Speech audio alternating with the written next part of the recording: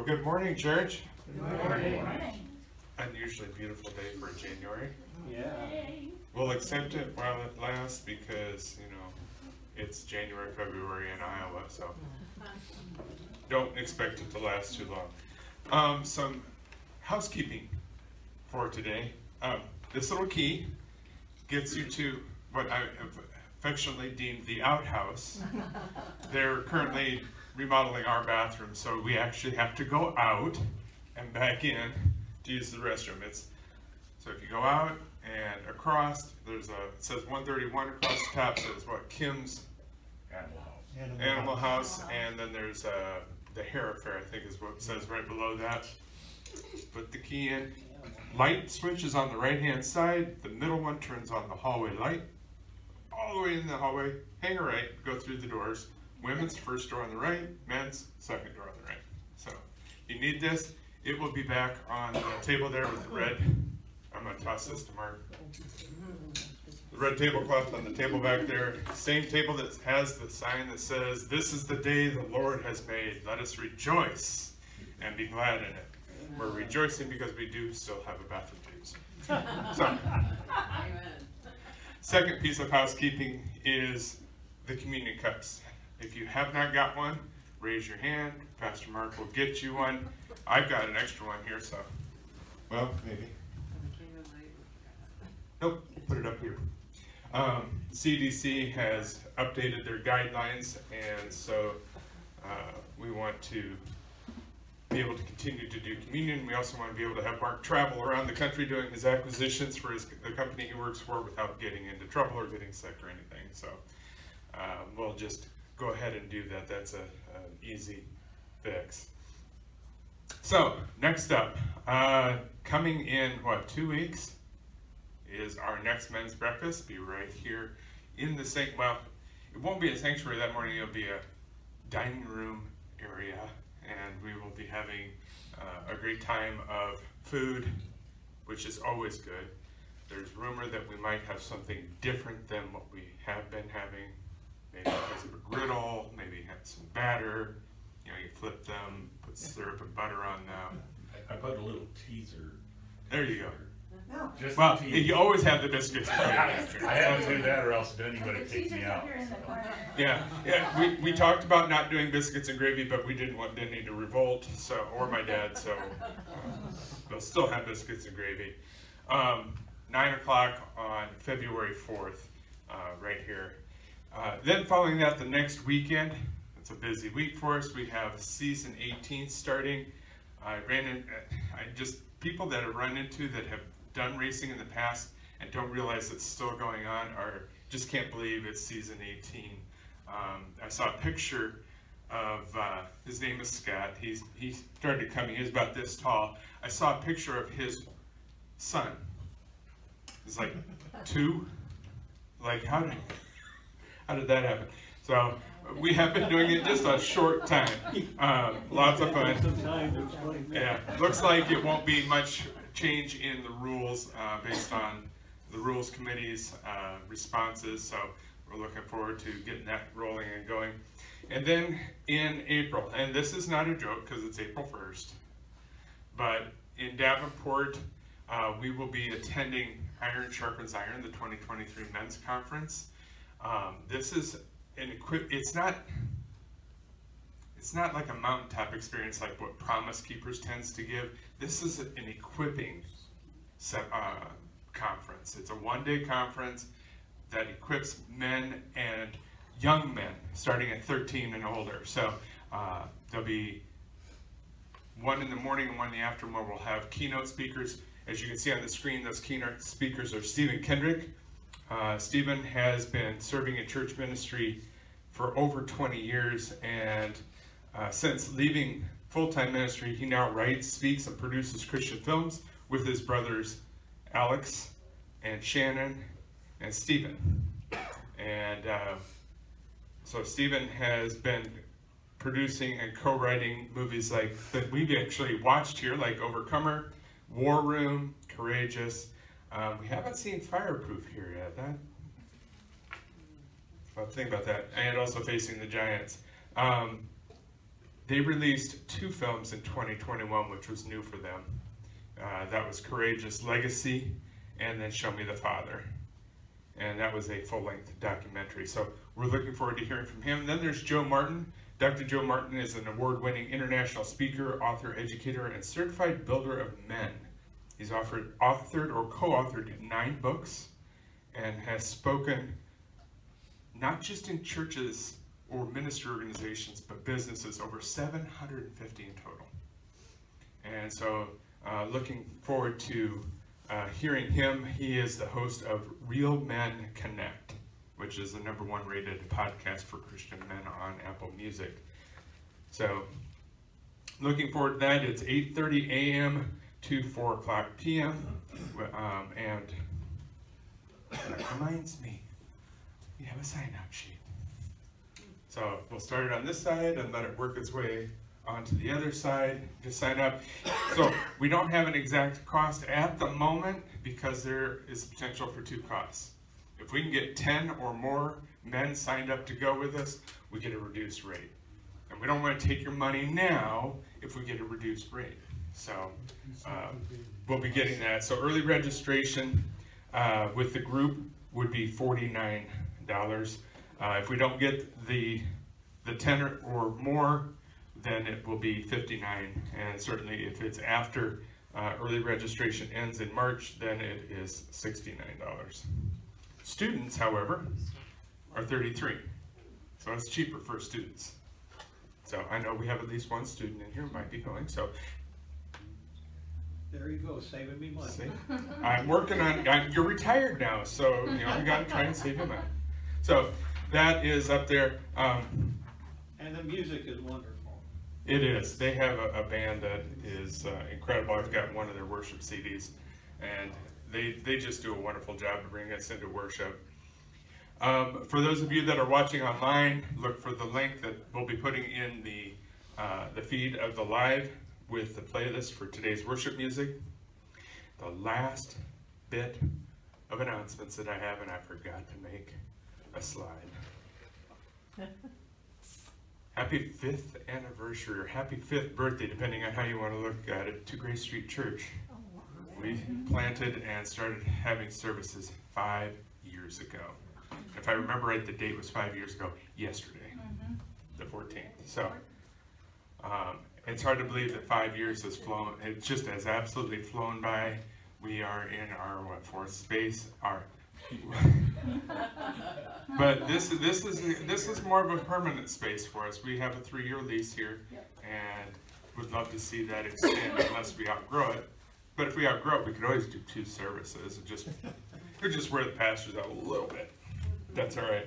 I'd rather wear the pastors out Yeah. and have a bunch of people on and uh, looking forward to seeing what God has for us as a ministry. So with that, let's, as I say every every week, let's switch gears. Let's slow down a moment, and let's get ready to hear the Word of God this morning.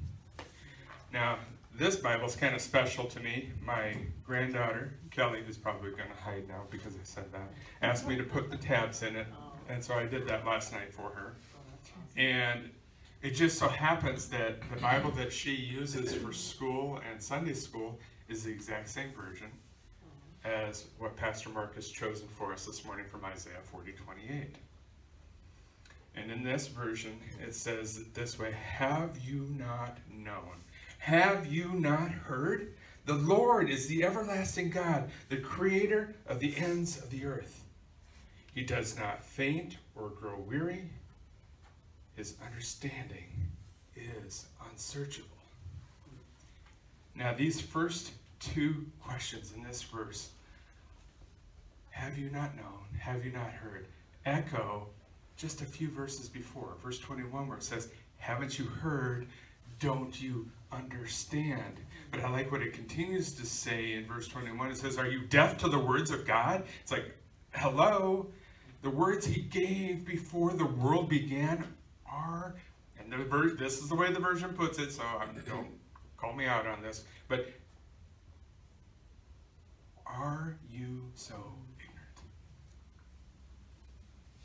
Now, here's the thing, we, if we are students of the Bible, which my granddaughter Kelly made me feel bad yesterday because she rattled off all the books of the Bible, not just getting them all, but in order. Awesome. Good for you. Which, as I told Mark this morning, and I told her and her mom yesterday, I can't even do that. So I was, I was really proud of her, and she's learning two verses a week, and, and so she's understanding that creation, and this is something we all need to understand, creation reveals God's power and His wisdom from the beginning to what will become, not just now, but into the future. Now, we mentioned it last week, and, and I, I actually snuck a peek at the slides and the sermon, and I know, I know Mark's gonna talk about a football player this week. But, and I didn't see this in there, there's another football player out there who is in ICU right now because he went into the waters to save his children, and he saved them from drowning. He understands what God is doing in his life, and he needs our prayer just as much. But as we think about things, as we go through things, prayer is such a vital part of all of this. And and as God reveals that power and wisdom to us, think about this future that we have. What a future it is. And I and don't be putting this in the context of that square that box we like to put everything into. Think of this as outside of that box as, as eternity with Jesus in heaven. The future that we have, it's a one with a world, because it does say Jesus is going to come back and reign for a thousand years. It's a world of righteousness, a world of justice, and a world of peace. And, and it's a world of no pain. So for all of you that are experiencing pain, wherever that pain may be, uh, however that pain may be, or disease, that's all going to be gone. See, we have to remember that God is not limited to the same things that we are.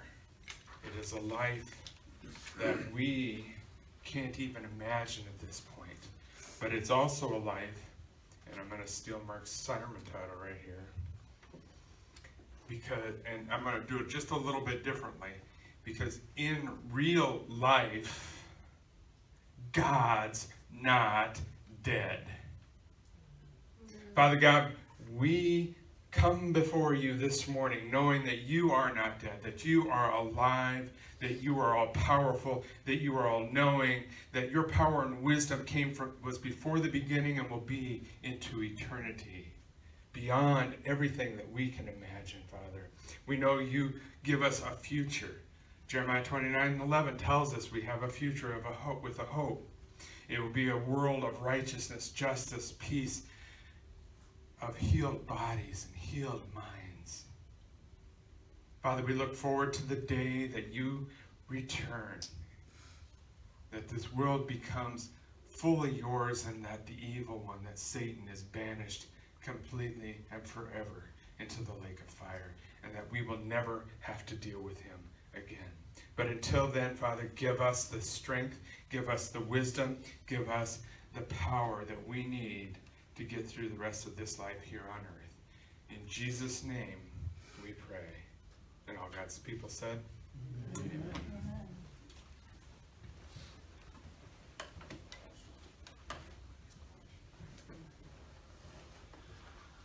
Well, good morning, church. Good morning. This is the day that the Lord has made. Let us rejoice and be glad in it. How can you not? I mean, just, I was just standing over there while Terry was up here doing the call to worship. I was looking out and I was looking at the beautiful sky and the sunshine and everything. And I was just going, wow. You have to understand the awesomeness of the God that we serve. It really is. It's awesome.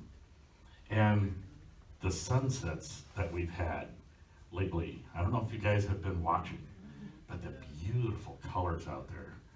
What an artist. I wish I could do stuff like that. So in our call to worship today, I, I kind of wanted to follow up with our movie that we showed. We showed the God's Not Dead 4, We the People. Um, it was a Saturday before yesterday. Yeah, week it wasn't it? Yeah.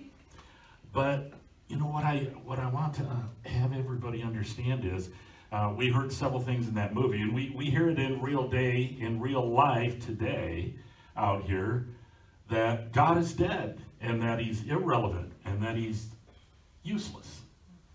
And, you know, when, when we think about this, it's the same kind of thing that they were talking about back in the days of Isaiah. Isaiah 40, 28. Have you not known, have you not heard, the Lord is the everlasting God. Meaning, God was then, was there then. He's here today, he's gonna be here tomorrow. Long after we're gone, God still remains. And I wanted to make sure that we understood that. He created the ends of the earth. He created everything. And he doesn't grow faint. He doesn't grow weary. When we give him our burdens, we don't have to worry about overburdening him. And he won't be able to take care of us because he does not grow faint. He doesn't grow weary. And his understanding of everything is unsearchable because it's everlasting. He's omnipotent. He's everywhere and he's in everything. And we need to understand that. That's the God that we serve. Now that verse goes on to say that he gives power to the faint, and to him that has no might, he increases strength. So even at, at your weakest point, even when you're down as far as you can go, God still will give you strength. God still will lift you up. He will edify you in his spirit. No matter what we're facing, God is bigger than anything that we come against or will come against us. We need to understand that. So this passage in Isaiah was written 600 years before the birth of Christ, and yet it's still alive today. It's still true today. We can rely on it. We can stand on his word. That means we can rely on the word of God to be true and active and faithful in our life. And it is relevant and it is unchanging. God is not dead in real life. He is here today. So a lot of times we hear things, you know, we're trying to figure out, you know, is it just kind of something that's being said out there or is it for real? And so that term in real life comes into play. Well, for the last hundred years, the learned and the elitist out there, mostly in academia, uh, have been telling us and advancing the agenda that God is dead. And that 2,000 year old stories, or you might refer to, find them referred to now lately as myths in the Bible. If you go and do a search in Google or in Wikipedia, it comes up and says, this myth that is in the Bible. Well, it's not just a story, it's not just a myth, because we're proving it out as history. And you might find that these things kind of rub you wrong when you hear it. But what they're telling people is these myths are irrelevant and they're unwanted in today's society. Nobody wants to hear those stories. Nobody wants to have to believe those stories. And the mantra of a whole woke society that it's all inclusive, that it's tolerant, we're supposed to embrace diversity in all of its realms, but in reality, their mantra is not really like that. Their, their beliefs are not really like that. And anyone that doesn't possess that same mindset as they do, well, then they're reviled in society. They're cast out against them. See, they feel everyone must be compliant to their agenda and to their beliefs, and if you don't, then they're going to come along, and I'll use today's terminology, they want to cancel you. So if you don't believe the same things that they do, and you're, you're not speaking and going along with their agenda, then you need to be canceled. You don't belong in society anymore today. And we as Christians, that's what we're facing on a daily basis. People are trying to cancel us because we're irrelevant, because we believe in these myths from 2,000 years ago. So I've got to ask you something today. Does this seem tolerant or diverse in mindset? Not at all. It's very exclusive by its very nature, and you can't have it both ways at the same time, folks. You can't tell everybody that you're tolerant. You can't tell everybody that you're diverse in your mindset if you immediately turn around and exclude a whole set of people that are greater than the set of people who are making up the rules. And that's what we face in society today. And it seems like freedom of speech and freedom of expression don't hold any weight. They no longer hold any weight. And I feel, you know, Pastor Terry talked about where these people might end up, uh, according to the scriptures. I feel these guys really like. That's the only thing, you know, I can figure out about this whole thing is they really like heat. You figure it out from there. So part of the agenda that I find most uh, interesting is that they shun God in the process of this. In their mantra, in their mindset, in their agendas, they shun God. And anyone that would believe in God is just a fool with foolish thoughts, and they pollute society as a whole today. They stand in the way of their truths.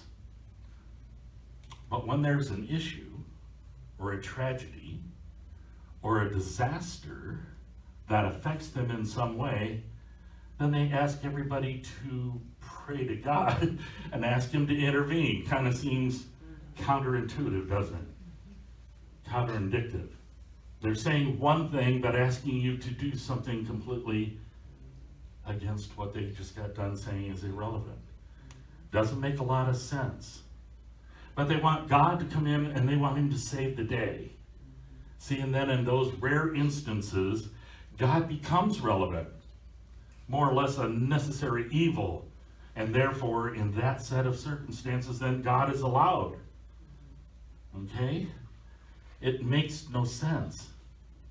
I like to use this as people want to turn around and just simply use God as a crutch. You know, you, you get stuck in a place and you can't take care of it on your own. So therefore, let's let's now go to God. Let's not in, involve Him from the very beginning, but let's go to God once we have an issue, once we have a problem. We're going to use God as a crutch. Hey, God, if you can get me out of this one, if you can take care of this problem that we have, if you can oversee this disaster and bring us through it, then you're going to be relevant. You're going to be needed you're going to be alive. See, and it's at these times when those who have sought to make God irrelevant or dead seemingly admit that, number one, there is a God, He is alive, and He is relevant. I think that's a really important point. In times of trouble, then they kind of fall back on what they know or used to know, but have chosen to push aside and now God is relevant. He's no longer dead. They admit that the, there is a God and that he can take care of this situation. So I got to ask you, what happened to our society? What happened to our world? See, for literally thousands of years, we were a God fearing world, a God fearing society. Now, that doesn't mean that we were, you know, afraid of God so, as kind of an aside, what does it mean if you're God fearing? It means fearing God means bowing in utter reverence and respect for the one who created the world. Fear is rooted in both awe and terror at the same time. So when they when they use this term, it's kind of changed its meaning over the years, and we got away from that reverence, respect of the word fear, and we've just gone into the terror portion of it. But see, that's not what it's about. We need to be in awe of God. God, the almighty ruler of the universe.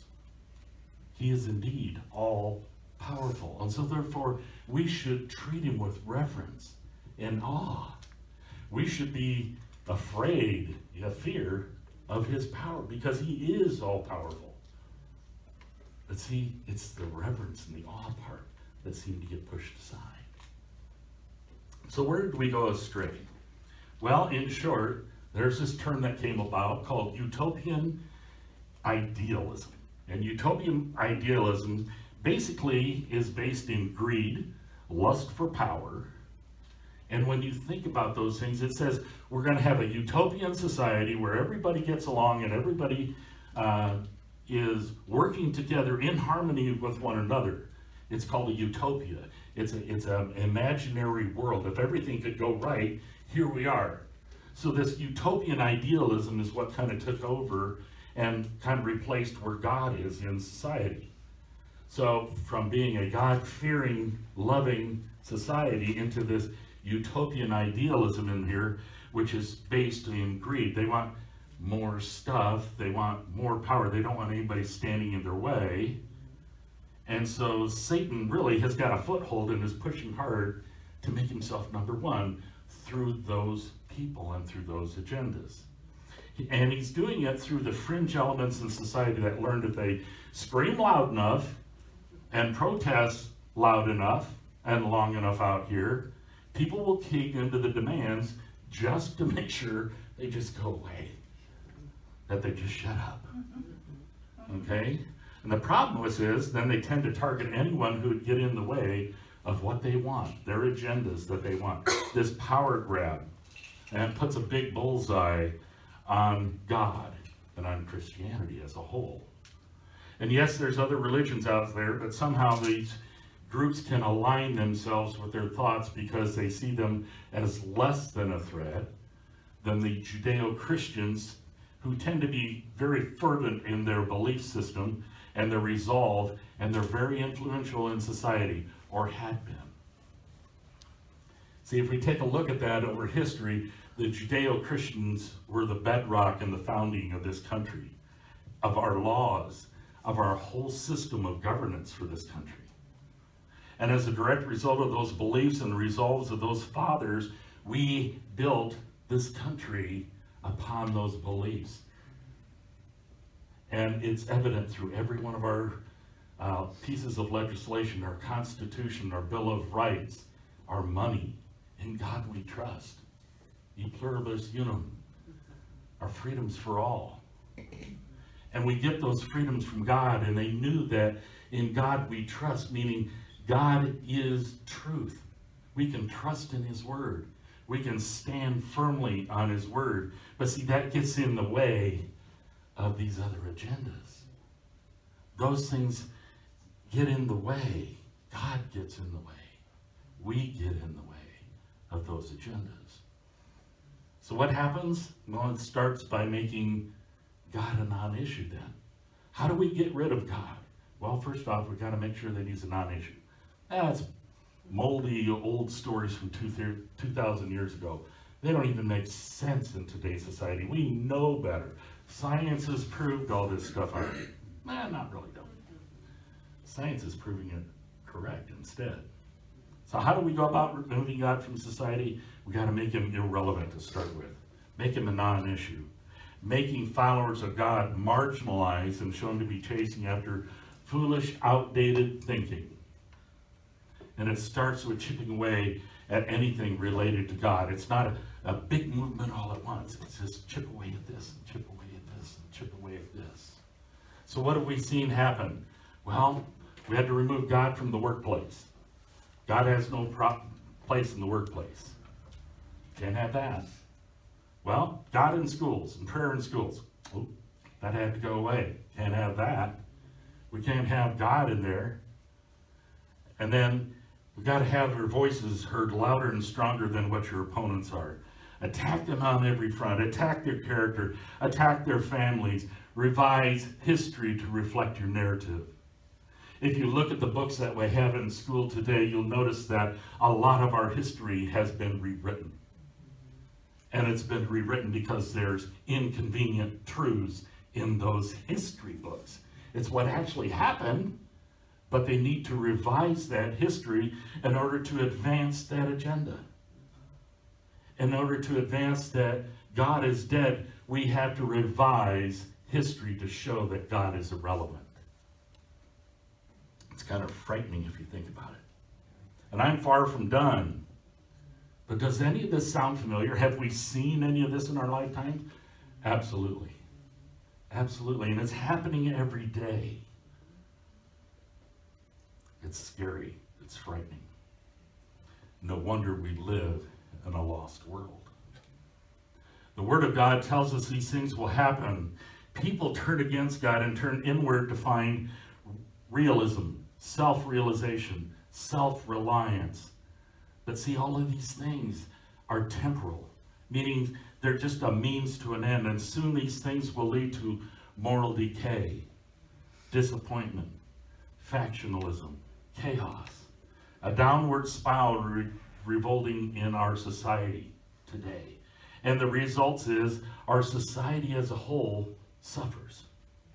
2 Timothy 3, 1 through 5 says, But realize this, that in the last days difficult times will come, for men will be lovers of self, lovers of money, boastful, arrogant, revilers, disobedient to parents, ungrateful, unholy, unloving, irreconcilable, malicious gossips, without self-control, brutal, haters of good, treacherous, reckless, conceited, lovers, um, lovers of pleasures rather than of God, holding to a form of godliness, although they have denied its power. And avoid such men as these. Now think about when this was written. It could have been written yesterday. Could have been written today. But this is not new. This was written 2,000 years ago. And it's still relevant today. It's still happening in our society today. And this passage stands as a warning against utopian idealism that believes that human society, through its own actions, absent of God, will continue to improve itself. And materially, yes, we will progress materially through material things, absent of God. But see, we're still going to be driven by destructive self-motivation, self-governance, and in many ways will decline morally and spiritually simply through neglect. So when we take a look at this, what's, what's happening is these people are basing themselves, I am my own God. We become our own deity at that point in time. I know better than God. I can do all these things myself. Self-governance, self-reliance. I don't need a God. I got me, and I can do it all. I can do it all. If there is no Godhead figure, no morals, no absolute truth, then there's no basis for right and wrong. Think about that. What happens next? No right or wrong. Then anything's free and open to be done, right? There's no morals. There's no basis for right and wrong. There's no absolute truth. The Word of God is irrelevant. It doesn't stand anymore. So what happens in society? We see a moral decay. And we see that prevalent in our society today. We're here now, folks. This is where we are. This is real life. So when we talk about in real life, we're here. It's here. It's now. We're living through it. People tend to want to become their own God in the process. In my disciple uh, Bible study, guys, it says this. Self-love and materialism head the list of sins leading to depravity.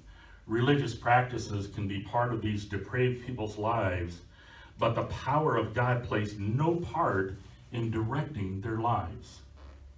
The depraved person learns much, but never puts learning into practice, and never gives reverence to the source of truth.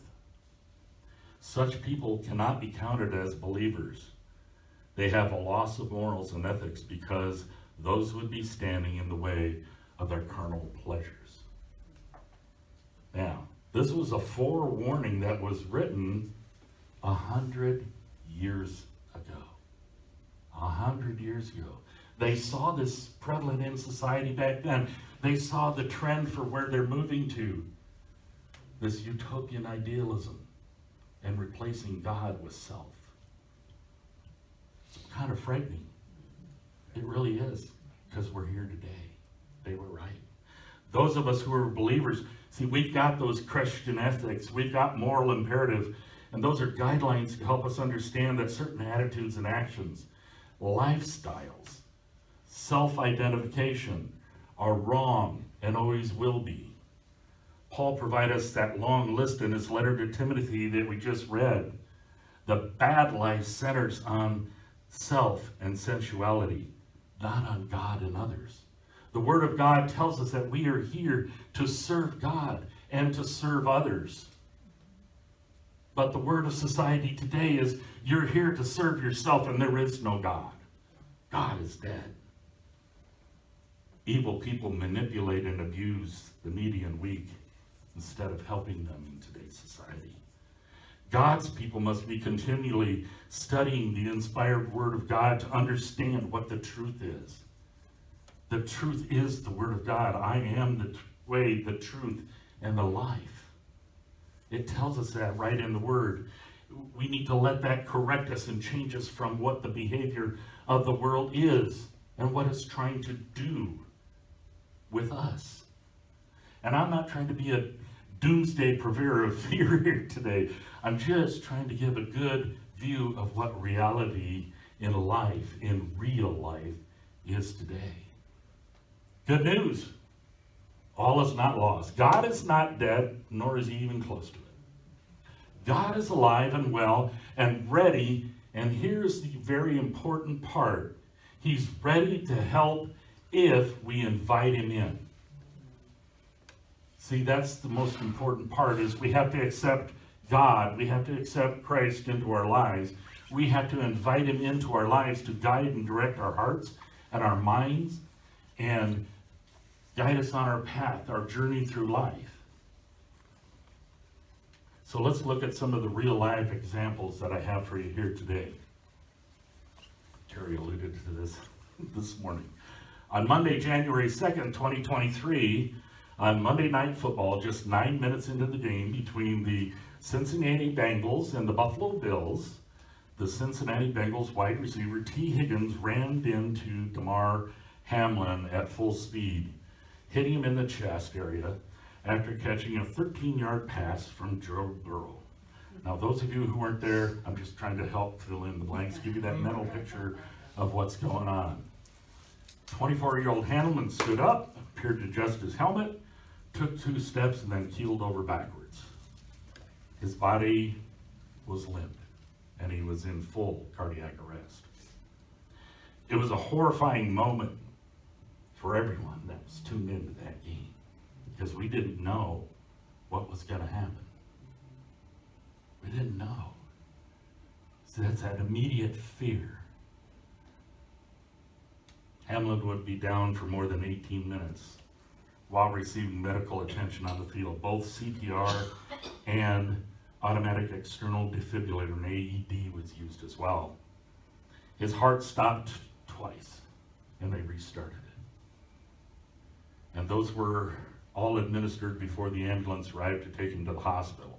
But see, that's that's the fear part. That's the unknowing part. And see, if God was dead, it would just end there and he would go to the hospital and the end of the story. But see, God's not dead. God's not dead. What happened next was what exactly I said. God is alive and well and ready if we invite him in. So what happened next? This is the really cool part. What happened next was truly amazing. Those throughout the nation who were watching the game stopped what they were doing and prayed. They were inviting God into the situation. They were inviting God in to take over and do what man could not do. They were inviting God in to be the solution. And it wasn't just them. The players, both teams, prayed. Sportscasters prayed. And they went further and they said, anybody watching, please pray for him. Pray over the next, and over the next week, thousands joined in prayer for a speedy recovery and a restoration of health for Hamlin. What's wrong with this picture? God's dead. He's irrelevant. He doesn't matter. And yet, thousands and thousands of people pray to God to save him. Because God's not dead, nor is he irrelevant. nor is he useless.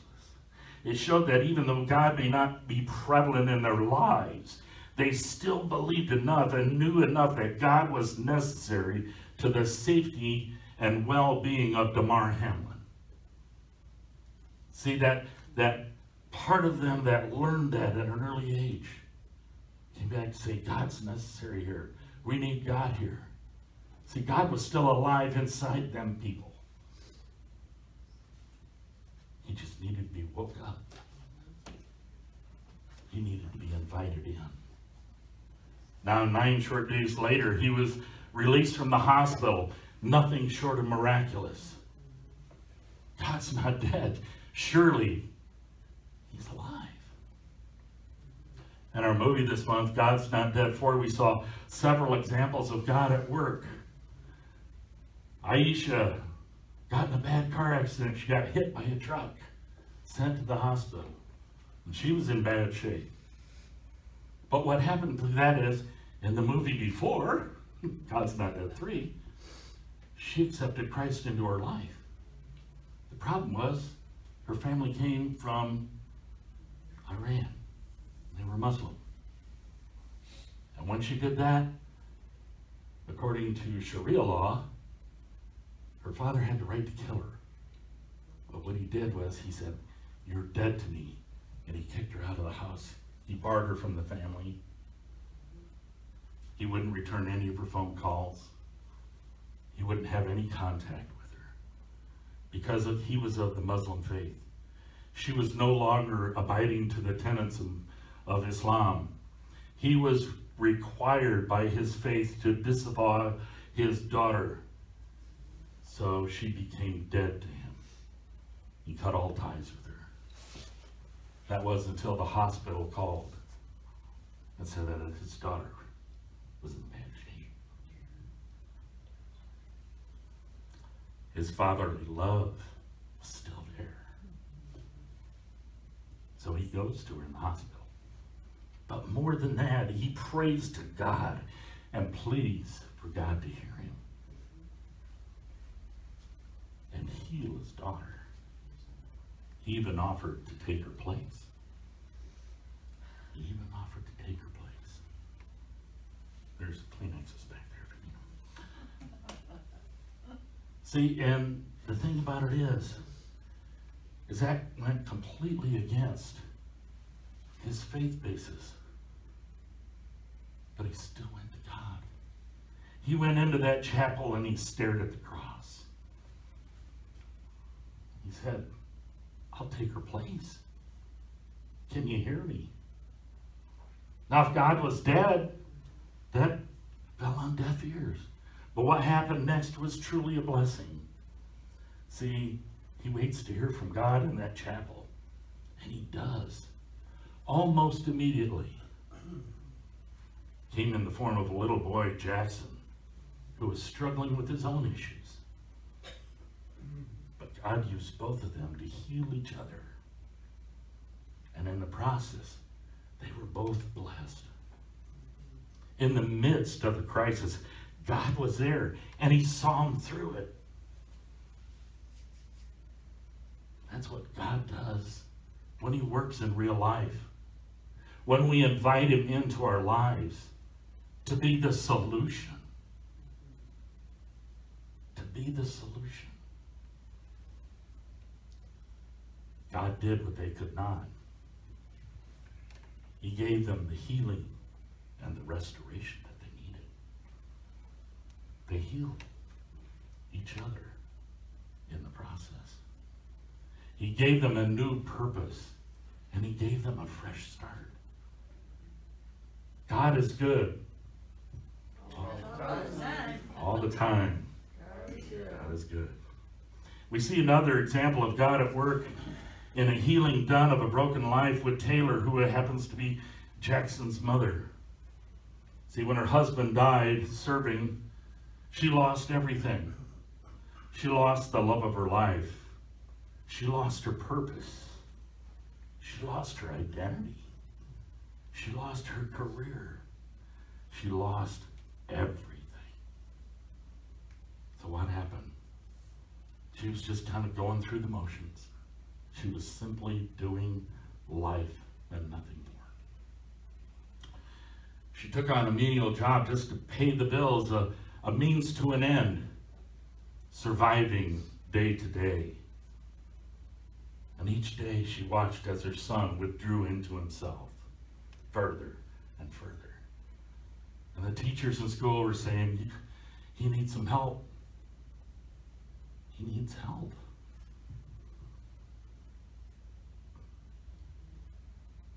That's what happened.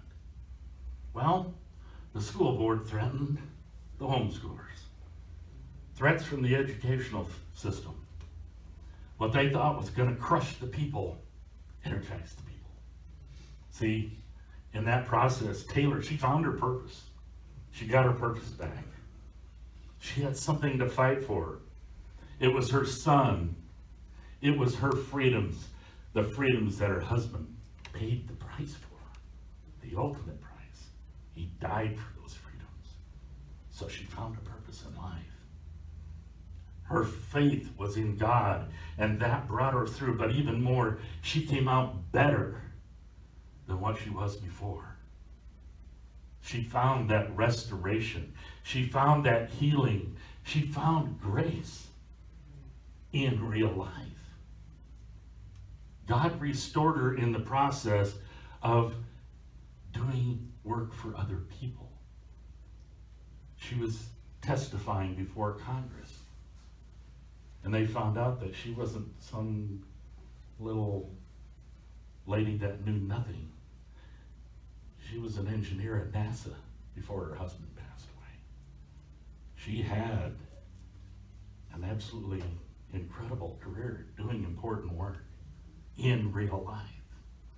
See, that whole movie was based on real life events. God is working. He's not dead.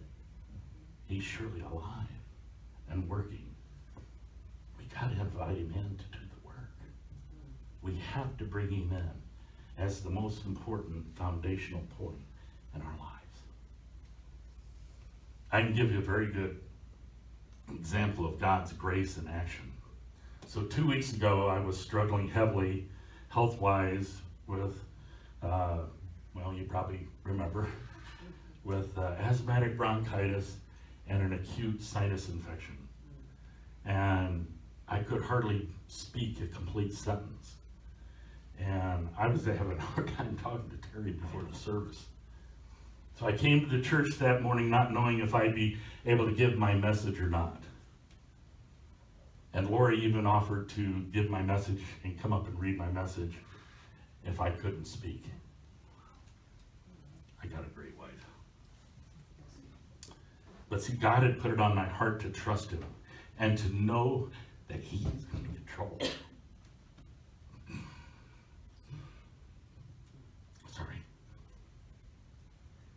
See, it's really what I needed to see that God was in control of my life. He got me through the entire message 2,807 words. I went back and looked at it. You always add to that. so Right. we know there was something, right? Four thousand roughly. Most likely Bruce. See, and I did that whole message with barely any issue whatsoever. And that was unheard of just an hour before. See, God's not dead in real life. In real life. And Terry said, we, we've been here now doing our services for five years. In that time, I can't tell you how many answered prayers we've had here at Grace Street Church. But see, all of those answered prayers, they're real. They are real. They're not just mere coincidence. And I feel that that for certain is a sign of God in action in this church, in this body of believers. Because we've seen it over and over again. I think we can plainly see from the message today and the works of God's hands throughout the world today that God is not dead, nor is he irrelevant, nor is he unwanted in today's world. God is a necessary part of life. We truly cannot do life absent of God. Amen. Let us pray. Gracious Lord and Heavenly Father, we just praise you and thank you for this blessing that you gave us today, for your words, for your words and music. I hope everyone who hears both in person and online today can listen to the message that you have in the music that you'll help me choose. And I thank you, Lord, that you are here with us to lead us and guide us through our earthly walk. Thank you that you open up doors of opportunity for us when others slam shut. Or at times when we feel we've reached dead ends in our lives, we thank you that you give us a new opportunity. You give us a new beginning. You give us resolution to the things that we face in our life. And we pray that you would be with us as we seek to adjust to the world around us, that you are standing with us each and every step of the way. I pray, Lord, that this is not only a new and a fresh beginning here today for us, but a fresh start where you become central and an increasingly important part of all we do, every bit of our lives. Knowing that in of ourselves we can do nothing, but through you, through Christ, we can do all things through Christ who strengthens us. Lord Jesus, emboldening us to let go of our past. Give us the courage to step out into the unknown, into our future, holding tightly to your hand. Lord, thank you for letting us know that you have scheduled every step of our lives and have promised to guide us on every step as we look to Jesus, as we give our lives to you, as we invite you in, the author and the purveyor of our faith. So in your hand we place today this new beginning. And we thank you that in your strength, this might be a fresh start that begins and continues with you. In Jesus' name we pray. Amen.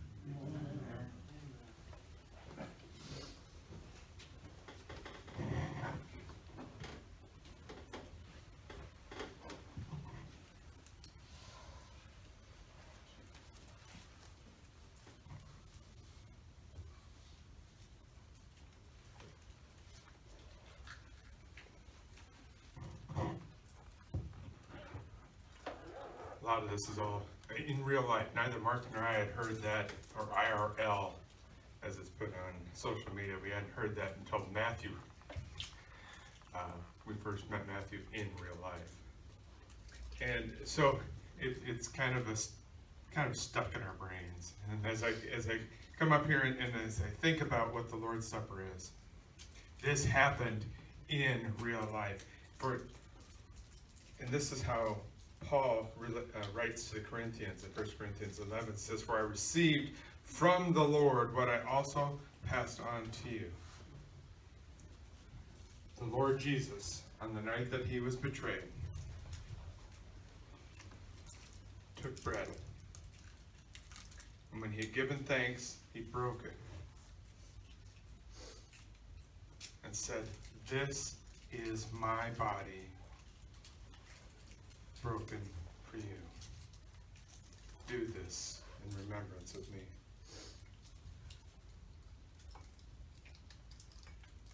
And a little later in this Passover meal, Jesus took the cup. And in the same way, he said, This cup is the new covenant in my blood. Do this whenever you drink it in remembrance of me. For whenever you eat this bread and drink this cup, you proclaim the Lord's death until he comes.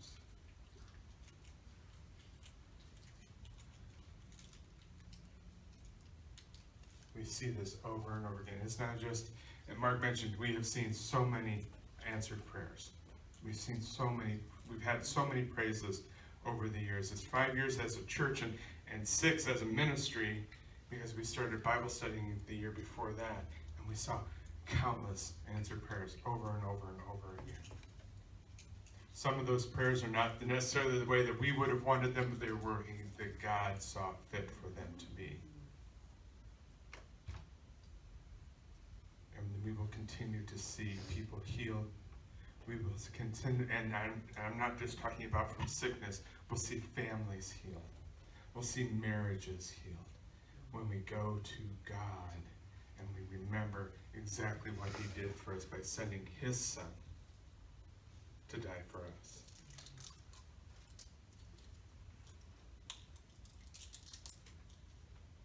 The body of Christ broken for you. Take and eat. And the blood of Christ shed for you. Take and drink.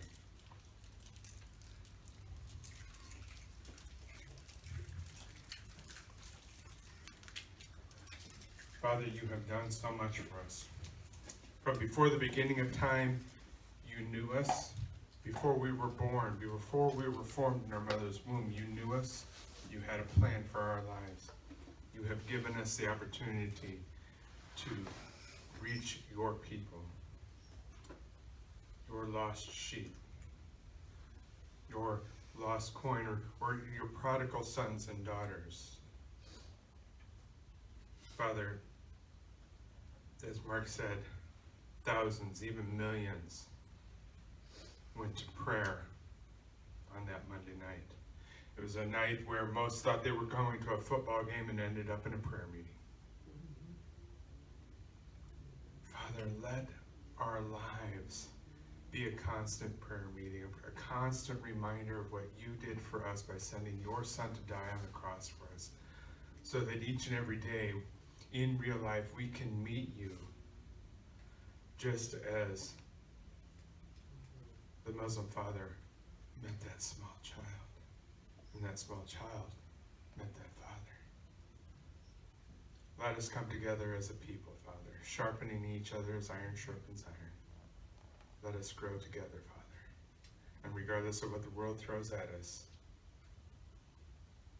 we know that in the end, we'll be with you. In Jesus' name, amen.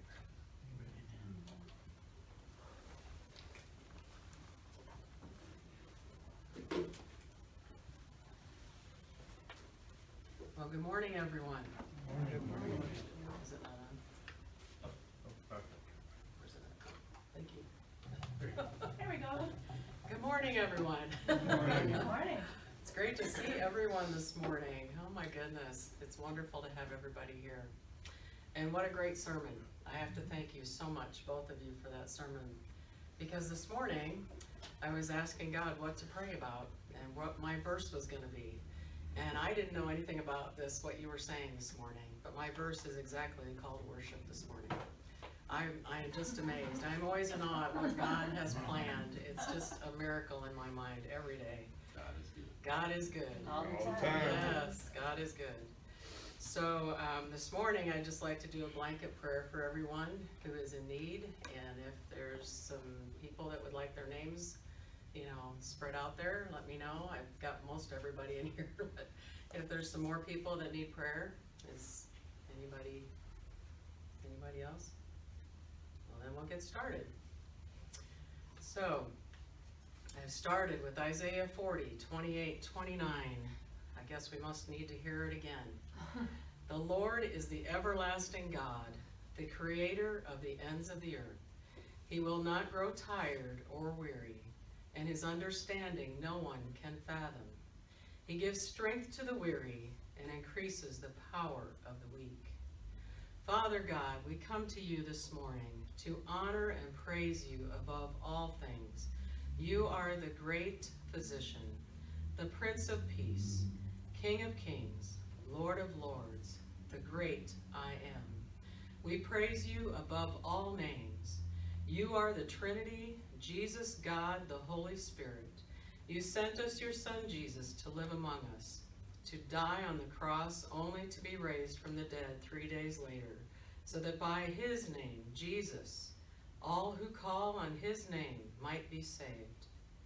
Therefore, today, by your name, Jesus, we humbly ask for healing for the following people Diane, Steve, Jace, Harold, Larry, Mary, Don, Carla, Colleen, John, and Jen, and all those online who would like prayer. We thank you that we can come to you with all the details of our sufferings, and we can trust you for all these things, Lord. I know sometimes we don't know what to pray for. In times of devastation and suffering and pain, we just need to say and call on your name, Jesus, Jesus, Jesus. And you are there for us. In the midst of our pain and our sorrow, you alone will guide us through it. Each one of these people has specific needs that you already know about, Lord. Please comfort and heal their minds and hearts and their bodies according to your will, Lord Jesus. We thank you, God, for each one of them. Help them to seek you daily, for you alone will walk and talk with them through it all. There's a song that's been in my head all week by Andrew Ripp. It's called Fill My Cup. And it says, Fill my cup, Lord, run it over. I am a child in need. Fill my house with hope. Fill my plans up with purpose. Fill my words up with healing, or my wounds up with healing. Lord, I need you to fill my cup. I am a child in need. As all of us are, Lord, we thank you for all things. And Lord, we ask for safe travel mercies for Mark as he goes back on the road for work. Ride with him, Lord, wherever he travels, and keep him safe at all times. Bring him back to us safely. Also, Lord, be with Lori and comfort her heart while Mark is gone. Send her help for any need that she has in his absence. Walk closely with her during these times. For all of us who walk with you daily, never walk alone. We thank you and praise you for all the mercy and grace you bestow on each one of us each day, for carrying, carrying us through the darkest and hardest times in our lives. For you are always with us. You never leave us alone. If we read your word, look to you for all things. We thank you, Jesus, God, and the Holy Spirit. Amen.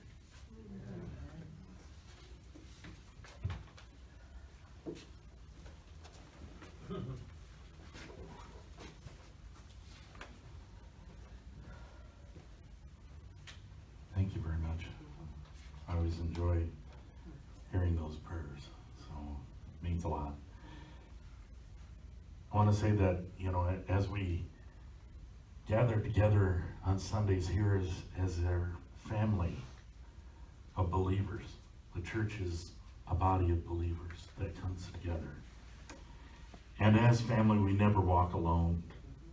God is with us, but we're all with each other we're all there for each other as we go through hard times, as we go through joys, as we share our times together.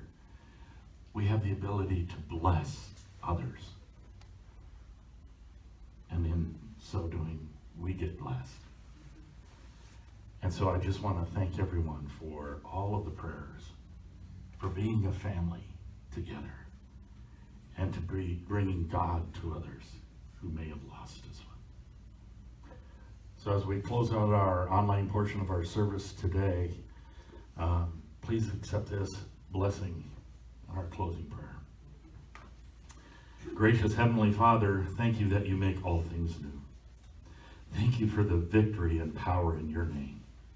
Thank you that you hold the keys over death and that by your might, Jesus was raised from the grave, paving that way for us to have a new life with you. Thank you that you have a plan for us and that you made a way for us to join you in eternity. And we confess today our need for you. Refresh us today. Make us new again. We ask that you would renew our hearts and our minds and our lives for the days ahead. And we pray for your redemption for us. Keep your words of truth planted firm within us and help us keep focused on what is pure and right and give us the power to be obedient to your word. And when the enemy reminds us where we've been, send his, his lies and attacks our way, we trust that your voice speaks louder and stronger, reminding us that we are safe with you and that your purposes and plans for us will not fail. We ask that you would be our defense and our guard, keeping our way clear and removing the obstacles and covering the pitfalls that lay before us. Lord, lead us on to your level ground. Shine your lighting us, through us, and over us to be a light to our world in these dark times. Help us make a difference in this world for your glory and for your purposes. Set your way before us, and may all your plans succeed. May we reflect your peace and hope to a world that so desperately needs your presence, your healing. And thanks be to you, God, for your indescribable gift of your Son, Jesus. To you be glory and honor this day and forevermore. In Jesus' name.